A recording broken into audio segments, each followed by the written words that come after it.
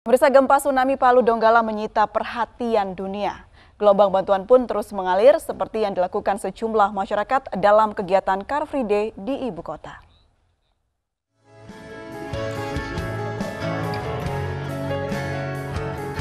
Gempa tsunami Palu Donggala menyita perhatian masyarakat Indonesia, bahkan dunia.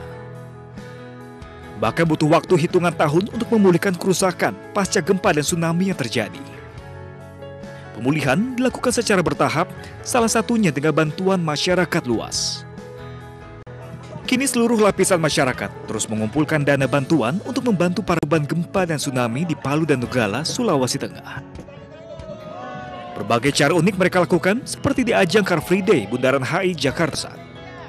Kebetulan misi kami untuk e, mengasihkan penggalangan dana berupa uang dan berupa barang makanan dan selainnya baju gitu ya siap. Jadi kita kumpulin duit, kita cari duitnya di sini, kita kumpulin. Kayak kemarin nih kita bawa ke Lampung, kita bawa ke Lombok gitu.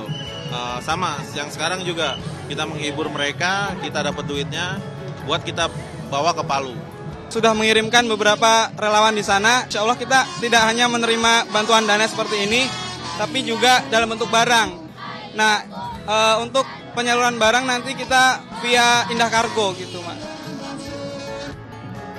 Kegiatan ini bertujuan untuk menggugah masyarakat bahwa musibah bencana alam di Sulawesi Tengah, serta mengajak seluruh potensi di bangsa ini untuk mau peduli.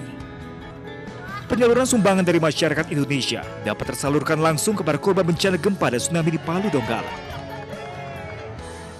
Dari Jakarta, Bunga Ayu, Riam Tobo, Tim iNews memberitakan.